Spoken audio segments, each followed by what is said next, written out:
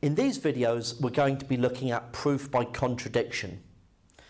Proof by contradiction is a type of proof where we have a statement that we want to prove, and in order to go about proving it, we first assume the opposite and show by logical deduction that that must be false.